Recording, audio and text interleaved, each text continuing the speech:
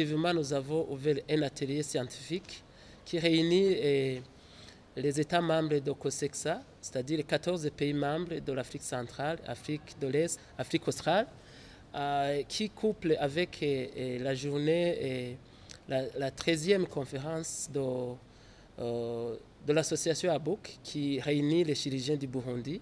Alors, d'abord, le Burundi se félicite d'avoir accueilli ces délégations.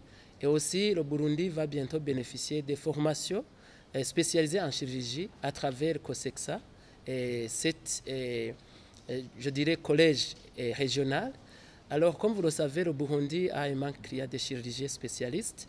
Et nous remercions d'abord l'association ABOK parce que c'est une association des chirurgiens burundais qui ont accepté de- d'appuyer le ministère de la Santé et parce que vous savez que pas mal d'autres sont à l'extérieur et ils ont voulu appuyer le gouvernement étant ici au Burundi. Donc, à travers ABOK et COSEXA, le Burundi va bénéficier des formations des chirurgiens. Nous avons pas mal de médecins généralistes qui travaillent dans les hôpitaux de district et c'est une bonne opportunité pour que ces médecins généralistes puissent avoir bénéficier des formations, quitte à avoir des diplômes de spécialité en chirurgie et les spécialités diverses. Et comme vous le savez, c'est un atout pour le gouvernement parce que la plupart des médecins qui étaient envoyés à l'extérieur ne revenaient pas.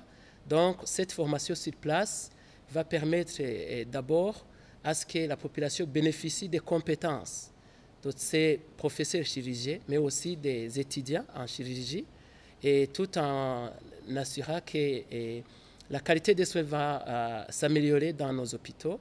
Et aussi, le Burundi ne va pas perdre les devises parce que, comme vous le savez, envoyer des étudiants à l'extérieur demande beaucoup de fonds. Donc, je dirais que c'est une bonne opportunité pour le ministère de la Santé de pouvoir rehausser la qualité des soins à travers la formation diplômante de ces médecins ici dans, euh, dans les hôpitaux. Et nous avons déjà, ensemble avec Abouk, identifié quelques hôpitaux qui, qui serviront de modèle parce qu'il faut avoir un chirurgien attitré pour pouvoir eh, entrer dans, euh, dans le cadre de, cette formation. À, part le CHK et l'hôpital militaire qui ont déjà commencé, nous allons euh, associer l'hôpital Prince Regis, l'hôpital Nato Turashoboye Karusi, l'hôpital de Kibimba et l'hôpital de Kibuye. Et cela va nous permettre d'avoir des chirurgiens compétents et qui ont des diplômes reconnus au niveau international.